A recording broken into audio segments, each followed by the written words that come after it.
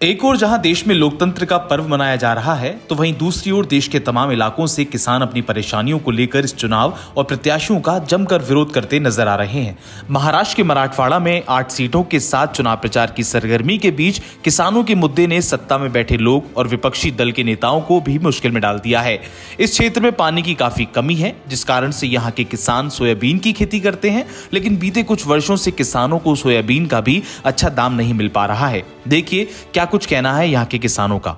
नहीं सोयाबीन ऐसा है कि वो सोयाबीन इस साल दो साल का सोयाबीन मेरे तरफ़ वैसा जो स्टोर में पड़े वाला है।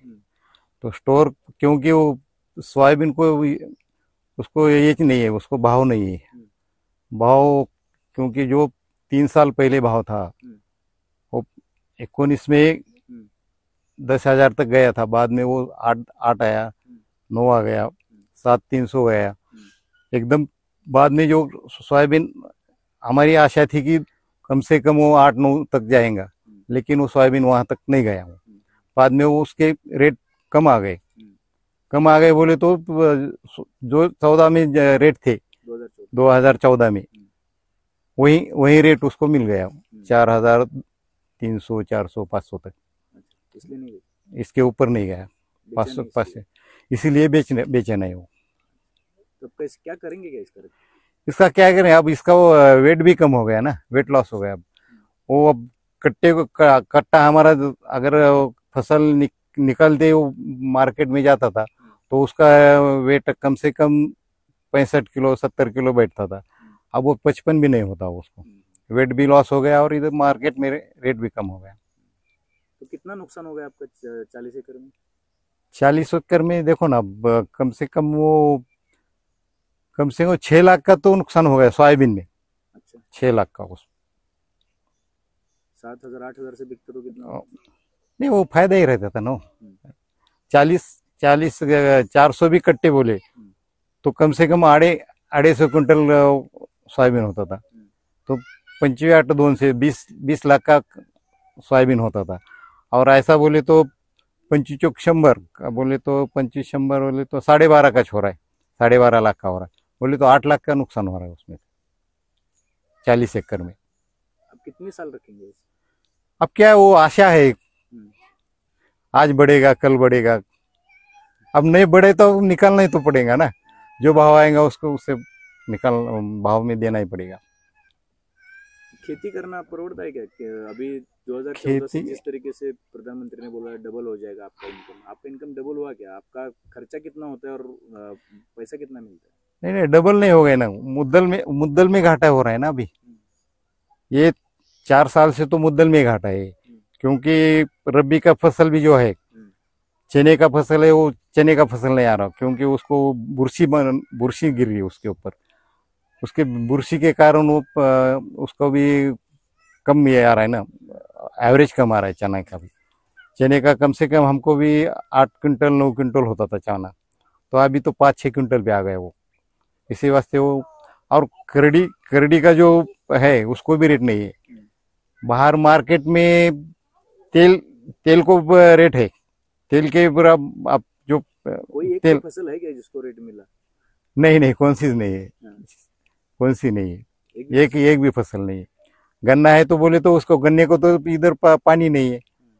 गन्ने के लिए थोड़ा बहुत है लेकिन उसको भी पानी नहीं है। पानी की वजह से वो गन्ना ले, ले नहीं ले सकते हम। नहीं तो आप कैसा है वो? पारंपरिक है और वो उपजीविका है ना उसके ऊपर। घर में बच्चे रहते हैं। कोई धंधे बड़े छोटे बड़े करते लेकिन वो उधर का पैसा इधर लगाने का। अच्छा। अच्छा ऐसा है। पड़ता नहीं खाता लेकिन करना ही तो पड़ता है ना। क्योंकि अब हम किसान है। किसान है बोले तो करना ही पड़ता है। बेच नहीं सकते हम खेती। खेती बेचे तो बाद में क्या करने का? पैसा आता है एक बार चला गया तो क्या है फिर? कुछ भी नहीं खेती भी नहीं और पैसा भी नहीं बाद में क्या करेंगे? ऐसा है। चालीस चालीस एकड़ में हम जॉइंट फैमिली चार चार भाई है और जॉइंट फैमिली हमारे बाईस बाईस लोग आए चालीस एकड़ चुनाव में अब राम मंदिर आ गया तो लोग भूल गए ये। लोगों ने इसके ऊपर ध्यान देना चाहिए। सोयाबीन कपास के भाव क्यों गिरे? क्या हो गया इसमें? अभी इसमें कुछ नहीं मिल रहा तो लोग दूध निकालते दूध के पैसे नहीं हो रहे। कोई बकरियाँ पालते हैं। कोई कुकुट पालन करते इसमें भी पैसे नहीं बच रहे।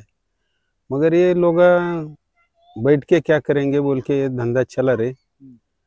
अपना धंधा घाटे में करना और बाप का नाम चलाना, ऐसा चल रहा है अभी तो।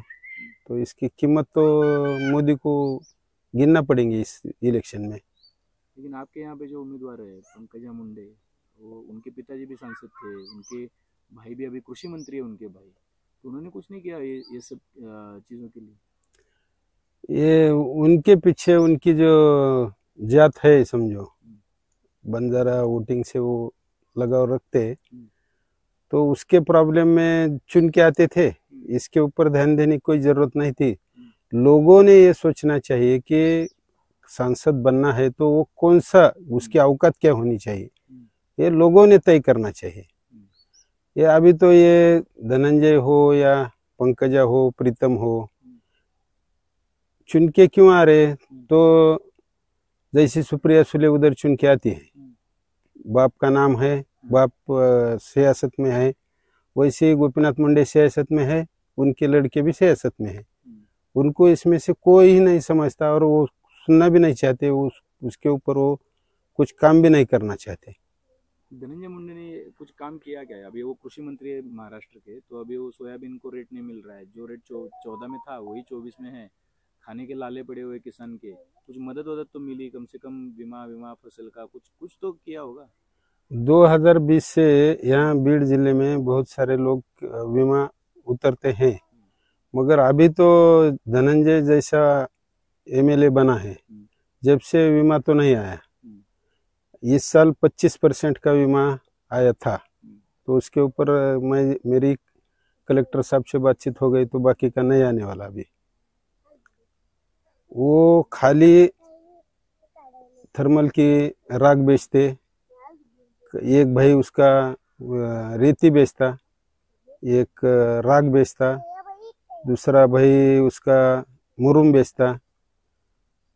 महसूल के अंदर जितना भी आता है, कोई पत्थर बेचते, वो धंधे में लगे हैं और बीड़ ज़िले में तो ऐसी परिस्थिति है कि पिछले पाँच साल में पंकजा पालक मंत्री थी और ये टर्म में धनंजय है।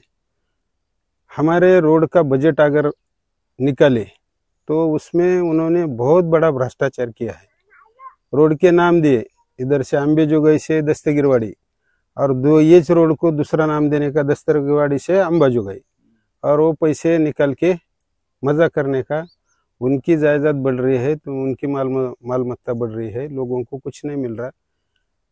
उनके पास तीन कारखाने थे, शुगर फैक्ट्रियाँ। वैद्यनाथ शुगर फैक्ट्री में अभी आज सुबह मेरे को फ़ोन आया शंकर अप्पा खानापुरे बोल के हमारे पूछ के किसान हैं कि अभी तक दो साल पहले पनंगेश्वर शुगर मिल को उन्होंने गन्ना दिया था। उसके अभी तक पैसे नहीं दिए। वैद्यनाथ के पैसे नहीं दिए। अम्बेजोगई के पैसे, एफआरपी से दो सौ रुपये कम दिए धनंजय ने। ये क्या सोचेंगे, क्या देंगे लोगों को?